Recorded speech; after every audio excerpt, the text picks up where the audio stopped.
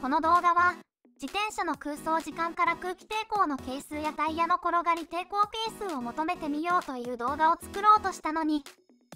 いまいち面白くないし実用性も微妙なのでお蔵入りにしようと思ったけどなんとか面白くしようとしてグダグダ考えていた2週間が惜しくて簡単にどういう手法なのかとなぜ実用性がないかをご紹介するだけの動画としてなんとか仕上げたものです。なんと見苦しい。だってこれ動画にしないと1ヶ月くらい動画なしになるかもしれないし。さて自転車で足を止めた時空想距離が長い方が抵抗が少ないのは直感的にわかるかと思います。その一方で空想では何も意味ないのではと思う人もいらっしゃるかなと思います。ところが自動車の場合コーストダウン試験って言うんだけどある程度の速度からエンジンを切って減速具合を測ることで空気抵抗やタイヤの抵抗を計算するって手法があります。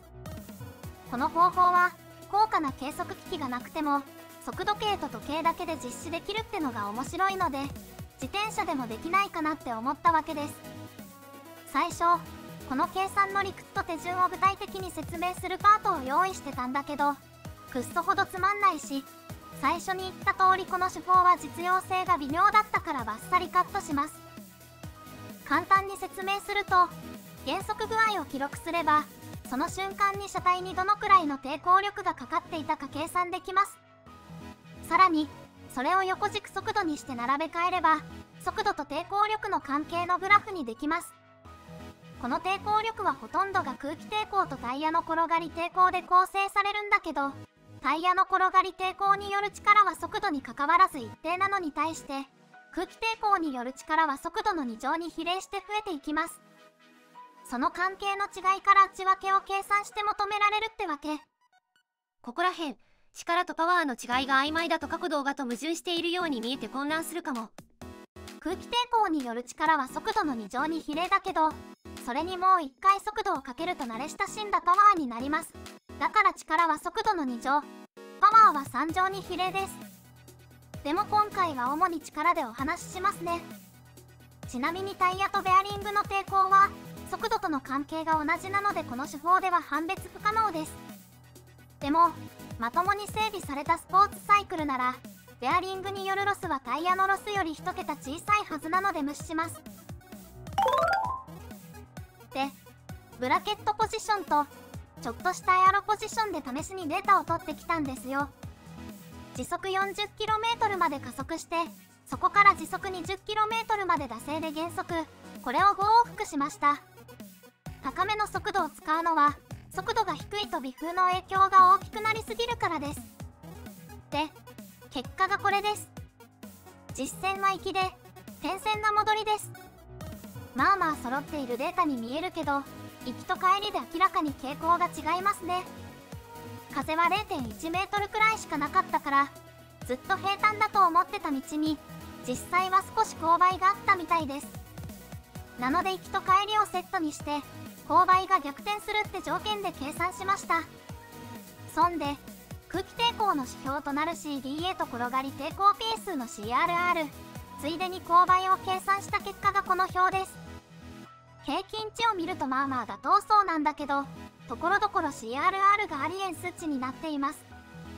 ブラケットポジションとエアロポジションで CRR が1.8倍も違うのもありえません。この時点であこの方法微妙だなって思いました。CDA は微妙なポジションの変化とかで実際に変化するはずですが CRR はほとんど変化しないはずなので単純に推定の精度が悪いって話になります。グラフを見る限りまあまあ綺麗にデータが取れてるのにこれでダメだと結構お辛いです。今回の範囲にはありませんが思想では CRR- なんてパターンもありました。これに引っ張られて空気抵抗の CDA も変な感じになっている部分もあります。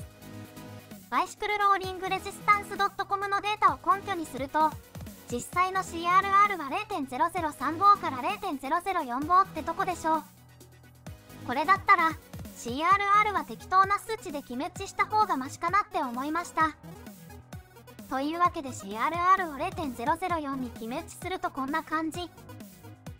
CDA はブラケットポジションで0.32エアロポジションで0.27ってとこです。比較対象として同じ服装でエアロポジションで走行して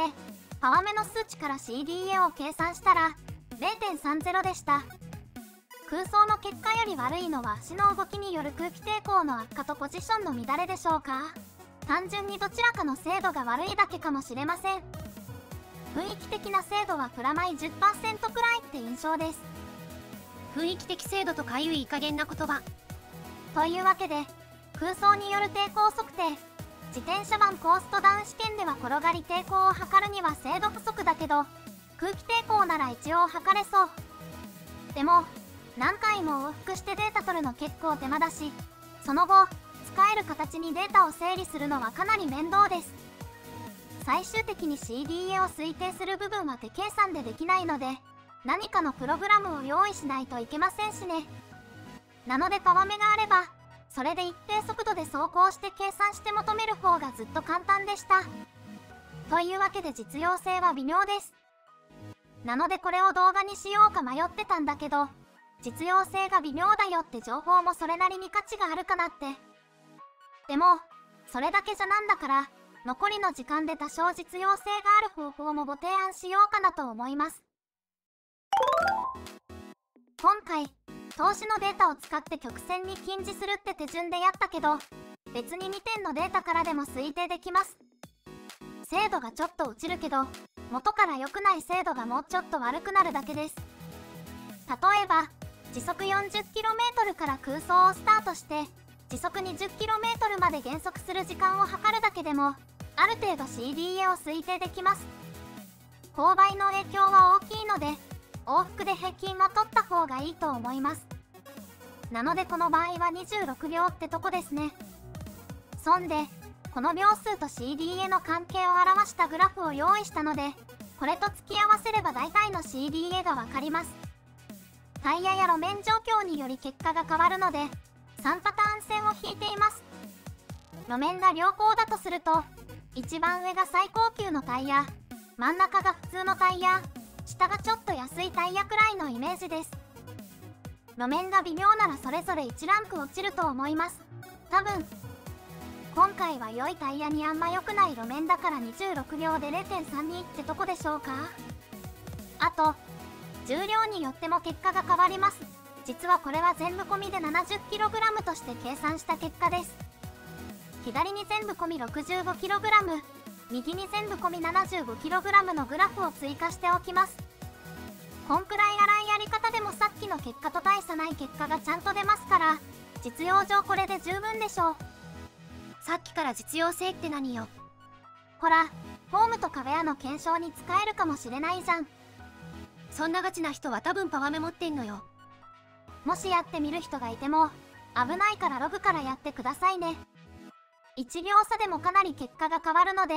安全性を無視したとしても走りながらじゃどうせまともに測れません。ちなみにネットをいろいろ見て回るとロードバイクなら0.3を下回っていれば優秀って感じかと思います。普段着で乗れば0.4近くのこともあるかもしれません。TT バイクで極めた人は0.2かってこともあるそうです。多分これは閉鎖されたコース以外では許されないフォームじゃなきゃ到達できないレベルかと思います。というわけで理屈上空想時間から空気抵抗や転がり抵抗が計算できるけど実際は精度的に転がり抵抗は分からず空気抵抗がある程度推定できるだけという半分供養動画みたいなものでした。だからやる人が少ないのよ。一般的なサイコンの1秒単位のログじゃ荒すぎるとか微妙な勾配変化や路面状況の影響を受けすぎるとかが原因かと思います。では今回は短いですけどこんな感じでこんな動画でも気に入ってもらえたらチャンネル登録とかしてもらえると嬉しいです。それじゃバイバイ。バイバイ。